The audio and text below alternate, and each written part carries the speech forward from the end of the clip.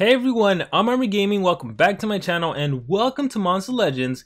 We have the latest Grand Prix going on and so this video is going to be everything you need to know to how to maximize the number of laps you can get as a team during this team race, okay? So I'm not going to talk too much about the monster, whether he's good or not, whether he's worth getting. I need to do an updated analysis on this monster. I already made like a preliminary analysis, so you can check that out.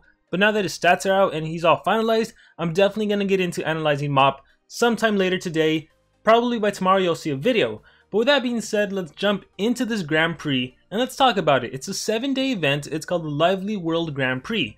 And let's start with the rewards. So, Socialpoint has made it possible to get up to a rank 4 monster, a rank 4 of the team race monster, you just gotta do a lot of laps. But they've also made it easier for different amount of laps you can do.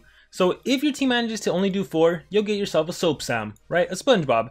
If you do 8 laps, you'll get ROFL, a legendary monster, and you only need to complete 10 laps to get the new monster.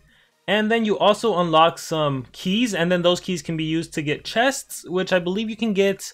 Here, let me check the rewards. If I'm not mistaken, you can use those keys to purchase more additional cells of the monster. So here, let me scroll to the right a bit.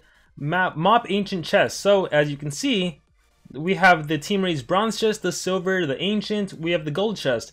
So depending on how many keys you get, you can buy different offers, which will give you 100 cells. But we don't need to worry about that right now because you're not going to get those keys until the event ends anyhow. So you have a week to accumulate whatever you want. With that being said, as we scroll up, you can see if your team manages to do two more labs, you'll get yourself a limited edition avatar, which is Soap Sam. And then still Soap Sam, but at 14 you get a rank 1. So I would recommend, if you're going to get Mop, right, he's a monster, he has an evolving trait, if you're going to get Mop and your team does 10 laps, you should push for those extra 4 laps and get yourself a rank 1 because it's to your benefit. 18 laps, you get a rank 2. 25 laps, you get a rank 3. And then if you want your rank 4, let's scroll up. Rank 4 is at 50 laps, okay? And so the difference between 50 laps and 90 laps is that you get these additional 300 cells, which will help you rank them up to rank 5 if you want them, so you can get the last evolved trait. And what I like about this new change that Socialpoint did is that there is different words every single 5 lap increments. So maybe your team does 33 laps and you're like, you know what, we'll push for an extra 2 laps. We'll go from 30 to 35 so we can get the extra 25 mop cells all across the board and get this extra limited edition avatar if you're trying to collect them all. So the rewards, that's really up to you to decide as a team how far you want to go, whether you want a rank 2, a rank 3, a rank 4, whatever it may be. The position awards, this depends on the teams you're facing. So there's always 20 laps in a single there's not 20 laps sorry there's always 20 teams in a single in a single like pairing of teams. And depending on where you actually place overall you get different amount of rewards. So for example if you get first place if you are the top one in your bracket you get an extra 80 elementium that's all of your teammates and a, an extra 150 an, an extra 150 elemental cells. If you get second place you get 60 elementium and 120 personally i feel like the difference between first and second isn't too great that you should battle it out like crazy amounts of laps. I would honestly like I would be okay with second place. Third place there is a bigger drop off. You get 40 left 40 less elemental cells and 20 less elementium. But again, if you're gonna battle out and use a lot of resources and gems, I would rather stick with third than like battle out for second, but this is ultimately up to you. And then at the end we always have individual rewards. These are based on how many points you yourself actually get as a team. So for example, if I look at my account right now, I have 908 points. You divide that number by 2 and that's how much food you'll get. So 908 divided by 2 is like 454. Multiply that by 1000, that's how much that's how much food I'm going to get. The max you can get is 5 million. And then depending on how many what place you actually get, you can get more mop cells, you also get a silver relic chest, a gold relic chest, or a bronze relic chest. After a while, let me see. I think 10th place and above is silver. Yeah. 11th place is 3 bronze. 10th through 10th through 2nd is silver and then if you're first place you get the gold relic chest. So that's how the rewards work. Personally, I think the position awards doesn't matter too much. Just the thing you should be looking out for is agree as a team how many laps you're going to get and then just go for that. All right. So once again, I'm not going to talk about whether or not MOP is worth it. That'll be an entirely different video. What I do want to talk about is how to get as many laps as possible as a team. So the number one thing is communication, okay? You have to utilize the team chat, you have to utilize Facebook, you have to utilize Discord, you have to be somewhere where you can communicate with your team, let them know when a new node has popped up, when you guys are on a new lap. You gotta let you gotta communicate with your team because we'll talk about the one for all nodes. These one for all quests, first member to collect 420k food completes the quest, if if 20 of your teammates are on and everyone tries getting those points for the one for all, everyone is to collect all of their food. And then if the next node pops up, again, it's a one for all, or maybe it's a joint effort, everyone needs to collect food. You guys worked against each other because you're battling for points. So don't battle for points. It's always good to call. So for my team, it's very simple. You could literally say like one for all. You could say got food. You can just let your team know that you're going to be doing the quest. Okay, we always do that. If we're ever doing the one for all, we have a rule that you have to call it out. The do your part, that one's simple. You literally just do your part. And then I would say only call it out if it's maybe like do your part, get a level 6 rune. Because that way a, a couple of your teammates aren't trying to get that level 6 rune. Maybe you say, oh, I got one. That way you know. Joint effort, this one you can pretty much just go at it whenever you want. All members contribute as much as they can to beat 22 uncommon monsters. You know, it doesn't really pain anyone to do that. So the one for all, you should definitely always call. You should be in agreement with your team so you're not battling against each other for points. Because honestly, individual points don't matter if you're not reaching that lap reward you set as a team. And so first and foremost, communication is key. The second thing I'm going to talk about is how to do some of these quests a lot easier. So collecting food, super simple. What I like to do here, let me collect. What I like to do is I like to plant like five of these winged angel beans. The reason I like the winged angel beans is because they give you 20,000 food and there's quite a bit of nodes that require to get 20,000 20,000 food. So I'm going to do like five of these and then all the rest I like to do dun dun dun, dun I like to do the black lotus shoot which gives you 100,000. And the reason I like to do the here black lotus shoots, yeah, all of these are black lotus if I collect, as you can see. The reason I like to do black lotus is because there are joint efforts that require you to collect a bunch as a team. There are one for alls that I could maybe do thanks to the fact that I have black lotus shoots. This is the one time you don't need blue legends tail, you need to be ready to collect. The do your part hatching is very simple. Typically you always want to make sure you can breed a Pandakin, a Greenisar, a Treezard, a Firesar, because there are a lot of quests that involve hatching like a common fire dragon monster, um, hatch a common nature, hatch an uncommon monster. So the reason you want to do Pandakin and Greenisars, and what I recommend is have your hatchery right next to a nature habitat, right next to your monster lab, because you're going to be utilizing them a lot. So I can easily place them right here as they hatch. Check this out. Placing my Greenisars. Alright, awesome. Click and repeat. I should also be breeding over here, but this is kind of on lockdown for now. And then, if you need cells, you should definitely start extracting because you're definitely going to need them. So see, if I needed to extract that fire star, I could. If I need to extract these, I could easily do it.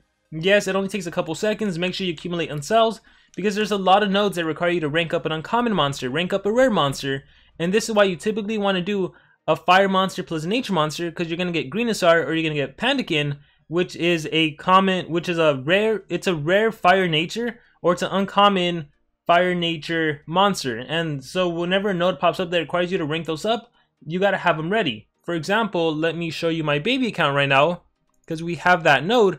One for first member to breed 11 uncommon monsters completes the quest. So going back to this account over here, as you can see, if I have two, my breeding tree or my my my breeding mountain trying to do the the Greenisar breed, I will easily be able to just breed my Greenisars and just accumulate and just finish that node so we can move on to the next one. So I always recommend make sure you leave one open. Definitely always leave one open.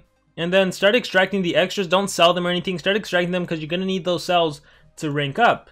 Here, let's go back into the race. So breeding, hatching, that's easy. Oh look, first member to collect 10.6 million completes the quest.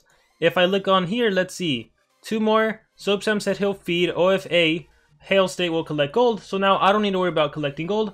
All members contribute as much as they can to feed monsters 1.7 mil. That's about to be finished. Two members will, must rank up one rare monster, like I said. That's why I have the Pandakins over here. Now I'm pretty sure a teammate will do it, so I'm not going to bother with it right now. Um, their Monster Vault is a great place to also place them, which is why I leave it next to my Monster Vault. However, right now I'm full with a bunch of epic monsters, so I got to start getting rid of some of them. So that's later. Um, whoops. the crafting, I always like to have a level 4 ready. Sometimes I'll do a 5, sometimes a 6, because I know I know those nodes will pop up. For feeding, I like to have a lot of monsters ready to feed. So for example, lots of these epic monsters I'll feed when the when it's time for them. When I like that joint effort that it says all members must contribute as much as they can to feed monsters. I like having monsters at a low level so that I can just feed all the way to level 90, level 100, whatever it may be. So they're loan for right now. Going back to the Grand Prix, let's see. See, we just had a joint effort. All members contribute as much as they can to collect 850. I had my Black Lotus shoots ready to collect. That would have been 400k if I needed to. And if I didn't just collect to show you guys in the video, I could have actually even done that myself. Two members must, must craft one level 3 rune. Here, let's go to team chat. Done. New node. No one's called the breeding. The one for all. I'll wait a while. If not, I can do that. Just because I'm doing the video right now. Another one I want to talk about is the one that requires player versus player. In my personal opinion, you should never, ever, ever pay for skipping the node for PvP. What you should do is, number one, change your defense team and put something that's super easy to beat. I recommend on commons if you can but something that's super, super easy to beat. You want to purposely lower your trophies. So, a, a new season just started. I purposely lost my first three battles. I literally just exited out just so I can drop in my trophies because I want to fight easier opponents. So now, if I refresh, you'll notice I'm not facing any 130s. I'm not facing any War Masters.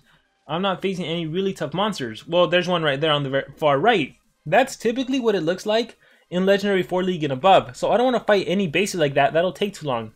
So you put on a really weak defense team so people can easily beat you. And that way you can have super easy revenge battles. Watch, if I look at their profiles, if I look at their profiles, no offense, but I could probably win within a matter of seconds. So, profile visit, level 100 on defense, easy. Alright, let's take a look at Bobby. Levels, 100 on defense, very random weird monsters super easy to win. So if that PvP node pops up, I can easily handle it. And in that case, you should just buy attacks instead of skipping the node outright because you'll save a lot more gems. So you should be very cautious with how you spend your gems. So PvP should be super simple, super straightforward. Um, let's see what else we can talk about.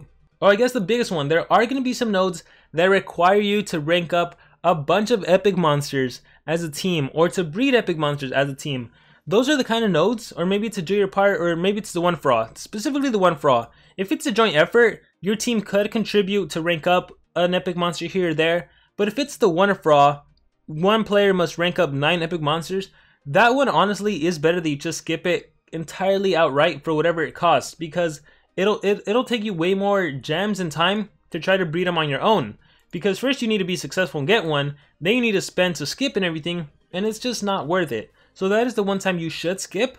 For As for the ranking up epic, honestly, if you have a Dragonian Beast, he is super, super cheap to rank up. He takes only two hours. Compared to other ones that take a lot longer, Dragonian Beast is only two hours, so I would recommend that. And another thing I would recommend, and I, I have this on my baby count, so I'm ready. Here, let me show you that. See, my baby count, I, I even rented some labs. I rented some, um, what are they called? some whatever they're called. I rented some of these incubators, whatever. So whenever that node pops up, I can easily do bam, two collects. So it doesn't hurt to be it doesn't hurt to like get ahead of the game. Maybe you can designate some players to start ranking up a legendary, ranking up an epic monster. I would recommend that. Another thing I would recommend is that first that first incubator, leave that open for your ranking up an uncommon, ranking up a common, ranking up a rare, and the rest you can rent out that way, for example, if I was to rent this out and I and I rank up an epic, here I'll just show you this. Yes, it does cost some gems. Oh, this one's 23 hours. There are some monsters that are that that are faster than 23 hours. Here, let's just look through them. This one's also 23 hours. Um, let's see, maybe a nature monster will be less. Here, let's see you. This one's only, okay, ah, beautiful. This one's only 16 hours and 30 minutes. So I don't mind spending 8 gems to rent because when that node pops up, he'll be ready to go. And then this allows me to rank up to um this allows me to borrow another one. So see which one's gonna be faster which one's gonna be cheaper. Because let's see oh no i ran out fire maybe earth. Let's see rank. This is another 23 hour one that costs 11 gems. So if you have nature rank ups those are probably going to be cheaper but yeah that first one you can leave it open while the rest ones you rent out that way when that node pops up you can help your team so there's a lot of ways to take advantage of the resources that Social Point has here, let's see how we're doing on here. Are we still waiting for the 11? No. 15 members must feed monsters with 60k. Easy enough to do. Let me find a monster to feed. I think I have some Helguden somewhere over here. Ah, there you are. Oh, even better. So let me feed you a couple times. Make sure you have some food on you to feed. I think that should be good. Let me go back to the Grand Prix and let's look. Yup, I'm good. And look at that joint effort at the bottom. All members contribute as much as they can to craft 8 level 4 runes. So, like I said, I usually like to have something ready. By the way, whenever it's like these like um the rune ones, it's not a bad thing to just skip instead of waiting one hour, especially if all of your teammates are willing to pitch in a gem. That's honestly a pretty good idea. But anyhow, with that being said, let us go back. Actually, since I'm on this account, I can see if there's any more that are pretty cheap. So this is 23 hours. I'm not a fan of that. It, what about you? You're also 23 hours. Let's try once again the uh, nature, nature earth. This might be pretty, oh, na no, nature light. Let's try again. Epic, green, what are you? Your magic nature, your dark nature, dark nature, earth nature. I feel like this one would be, no, still 11 hours. So yeah, look for those cheap ones that are only um, 16 hours or 8 gems. And definitely utilize the ability to rent. And then as you can see, if I rank up a common, I have quite a bit of cells for ranking up a nature, quite a bit of cells for ranking up a fire common.